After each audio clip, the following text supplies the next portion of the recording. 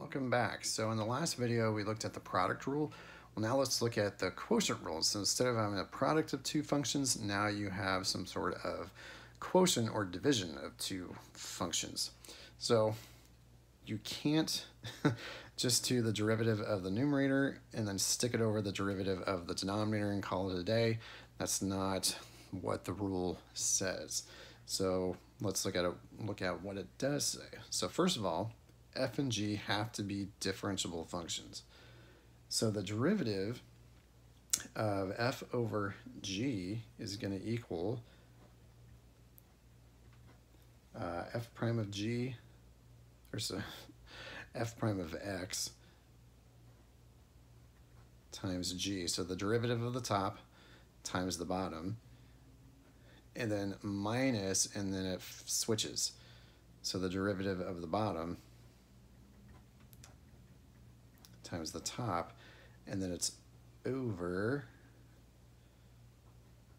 the original denominator squared, provided that that derivative of the denominator um, is not equal to zero.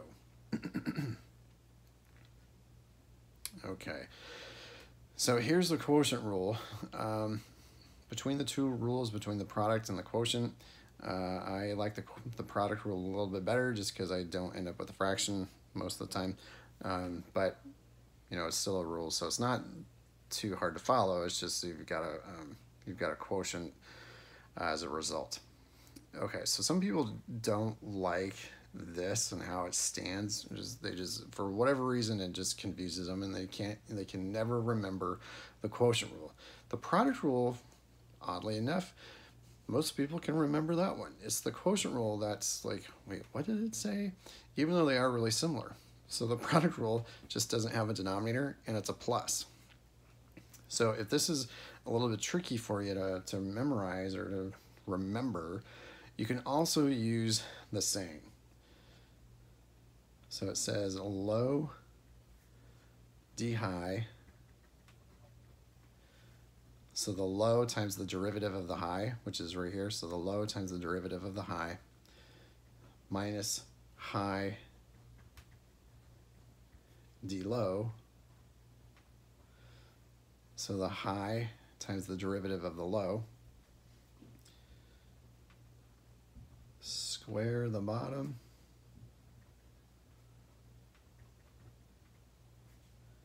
And there you go.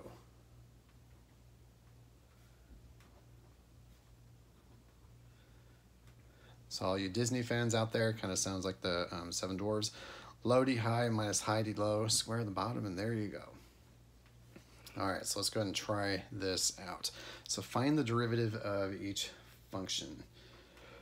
So the, the quotient rule, um, you know, it really kind of helps or does kind of delineate stuff out. It's a little bit easier to recognize because there's a obvious high and an obvious low or obvious top and an obvious bottom. So the denominator, that's the g, the numerator, that's the f or the high. So let's follow this out.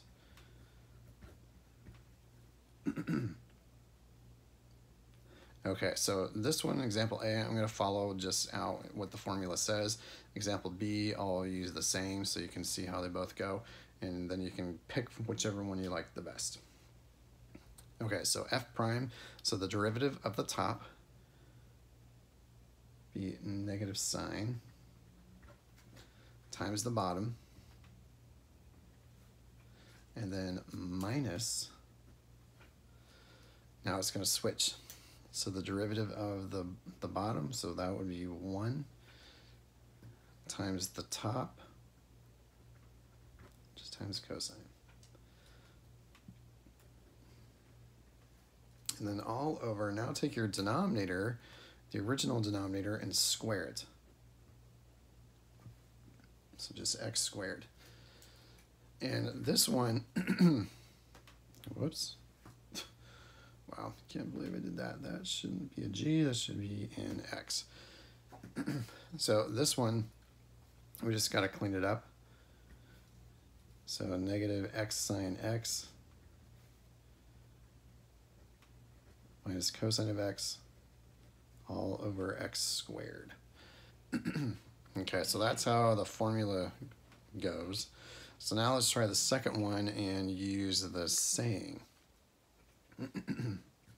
Personally, I go with this one, but that's just how I was taught. You know, I don't care which one it is. If you go off of this, if you go off the saying, if you've got another way to remember it, you know, go for it. All I care about is whether or not you can actually find the derivative of a quotient and get the right answer. All right, um, so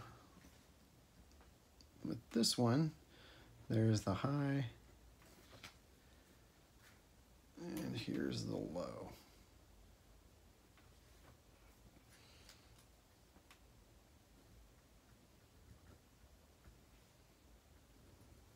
I'm going to put our big old fraction bar in there.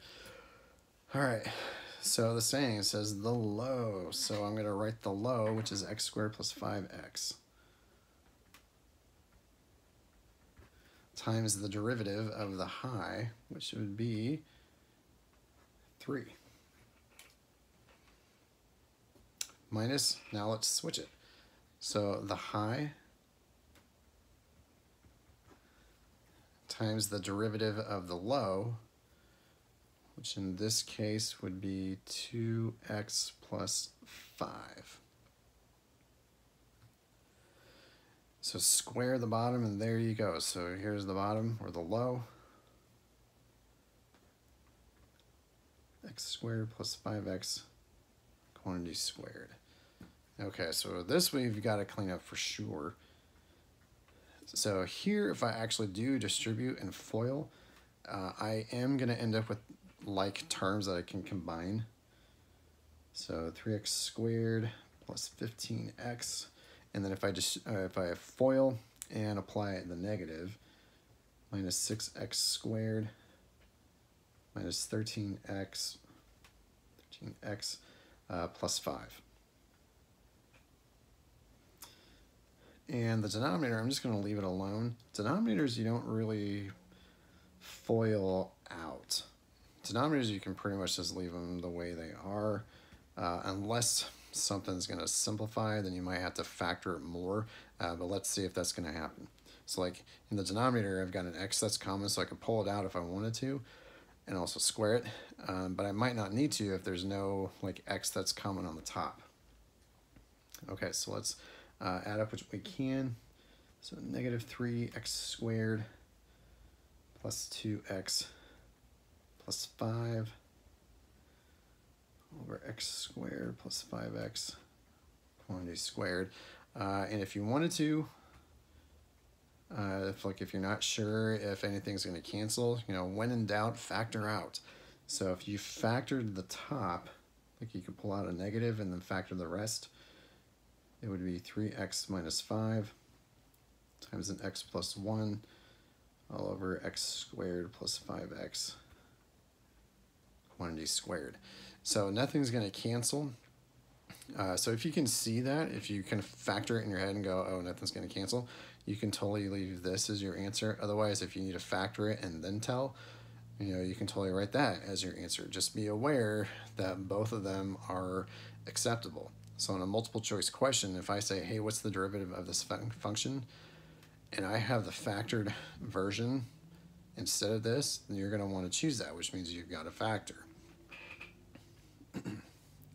All right, let's go ahead and stop the video here and we'll do the next two examples in that one.